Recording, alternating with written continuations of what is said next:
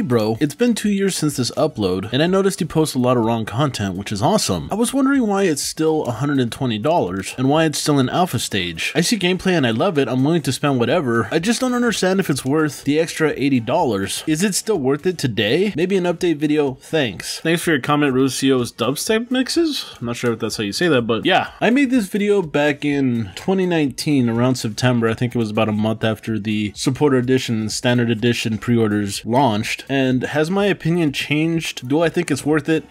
Well, we're going to get into it in just a second. So before we get into it, I need you to like up the video so that more people can see it. If you're someone that's new to the channel, be sure to subscribe and ding that bell. If you would like to support me, hop on that Patreon or click on that join button underneath the video. I got to thank my main man, Michael Golden, because he chose the tier 5, which is like $50. Wow, what a freaking chat. I didn't even realize that he was supporting me that much. Like, wow, holy cow. Thank you, man. You're freaking awesome. All right, let's go ahead and talk about it. So like I said before, I made this video back in 2019, about a month after the initial gameplay trailer launched, and they dropped the supporter edition, which was $120, and the standard edition, which was $40. At the time, I was really hesitant because $120 was a lot, and I mean, it still is today, if you think about it. But at that time, the reasoning that I had for buying it was because, you know, my channel was really blowing up off of Ready or Not, so I had incentive to buy it, but at the same time, I was kind of hoping that Ready or Not would actually get their shit together, because before, Ready or Not was really just like fumbling the ball all over the damn place, with boneheaded decisions and broken promises and just horrible PR and communication, man. People were like screaming from the rooftops for them to actually drop updates and communicate with us. I really didn't think anything of it because, you know, they weren't taking any money at the time. But afterwards, when we put $120 on the line and they were going dead silent, that's when I got really pissed off. So what came with the supporter edition? Well, initially, the supporter edition really didn't offer much. An FBI HRT pack, which is just the skin that you see in the picture, a different shield and a gas mask, and two guns, the Entryman 590A shotgun and the PF9C G19 pistol. We got single player, co-op, and multiplayer. The single player and the co-op were under NDA, but we could show off the multiplayer. 25% discount on the first expansion, and for the first 1,000 pre-orders, gave you a mouse pad, which was a really good looking mouse pad, but they sold out within like the first week. And I ended up buying the 120 supporter edition like a month later, so that's kind of pointless to me. A lot of people were like, man, that's really not even a good deal. So then they tried to entice us a little bit more by giving us the first expansion free, digital copy of the original Ready or Not soundtrack, and listing in the game credits. Well, I think that that's slightly better. When they say expansion, they mean like actual big content to come to the game, like more than just one map and two guns.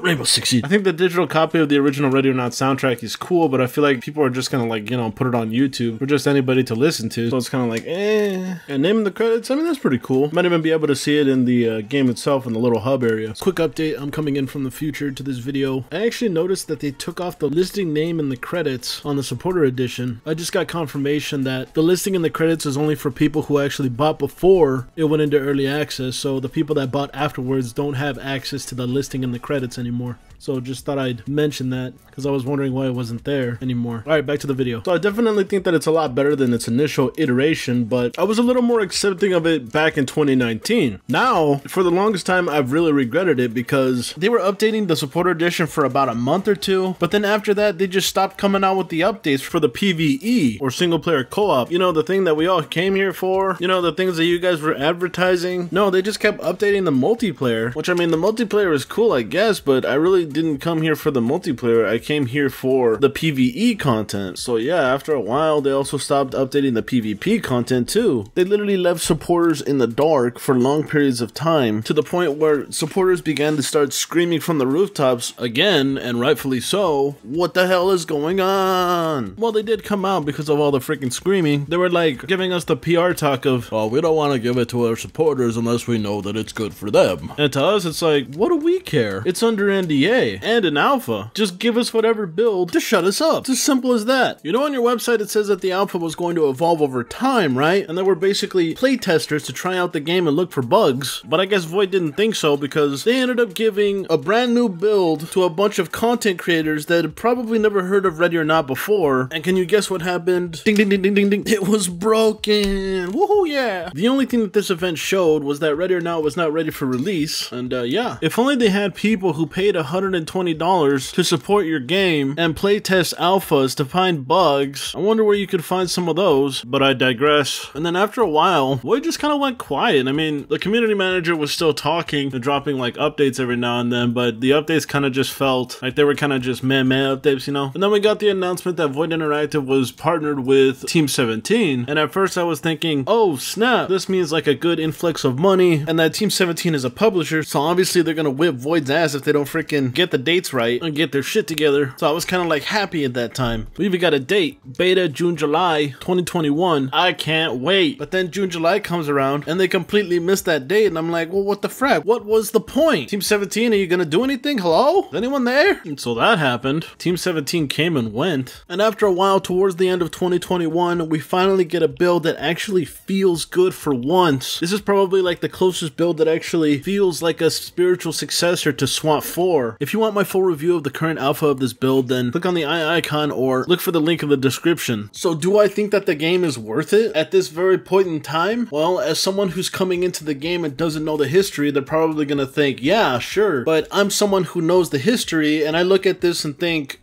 not right now. I don't think you should get the $120 edition because what's the difference between the standard and the supporter edition? It's really just a skin and a few guns, nothing too significant. Now you might argue and say, well the point of the supporter is to support the developers. And you're right. And that's exactly what I did. I bought their supporter to support them. And what did they do? They left the supporters in the dark and snubbed us so many goddamn times that it's just hard for me to let go or forget that. Because what if more people buy the supporter and they do it again to them? Like that's the thing that I worry about the future of this game. But then what do I think about the standard edition? Well, I actually lie to people because I would tell them it's probably better for you to get the standard edition because when it launches, it's going to be in beta and there's more likely to be more content that's going to be worth that standard edition price. Well, it launched into early access, but it's still an alpha. So what does that mean? Well, it means that there's actually less content at a $40 price. So the standard is effectively not worth it at $40. Like if they had cut it down to like maybe 20 or 30, then I would have been like, oh, okay, well, whatever. But no, they launched into early access with the exact same alpha update as we got about a month before. I would have at least thought that they would have enticed it by like adding another map or a few more guns, but no, the exact same build got put up for 40 bucks. But Durag, didn't you just say that the build was actually pretty good? Yes, but this build actually has less content than the previous update that we had before this update. And if you want to know how much stuff was actually taken away, I'll put it up on screen right now. So this is the stuff that's been taken out of the game. And I understand the reason behind it, but I look at it as like you took stuff away from the game and now there's less content than there was before. I understand why you did it for stability and optimization, I assume, but I think it really sucks that a lot of this stuff is just gone now. I think a lot of people would have like understood if you had kept stuff in the game because it's still an alpha phase. But now that it's gone, like I look at it and I'm just like, there's a lot less content here. I don't think that standard is worth it. But this is a big but and I cannot lie. Void Interactive has put me between a rock and a hard place because what other game is out there that's like this? People might think Ground Branch, and I'll tell them, no, not really. Ground Branch is more trying to mimic the old Rainbow Sixes, you know, like 1 through 3, maybe Raven Shield. I guess people would try to compare this game to Zero Hour, and I'm just like, I don't really see it. Like, I kind of see Zero Hour's, like, PvE is more of like a terrorist hunt from Rainbow Six Siege. Like, the only game that comes close is like 2005 SWAT 4, and I like SWAT 4, but I've played the hell out of it and don't think I'm gonna come back anytime soon. Like, let's be honest here. These types of games are basically extinct, and AAA developers are basically trying to sell us on fucking NFTs and microtransactions and loot boxes and all this bullshit. Unfinished, broken ass games. So now we're just playing a game of Would You Rather? Pick your poison. Giant douche versus turd sandwich. And you know what?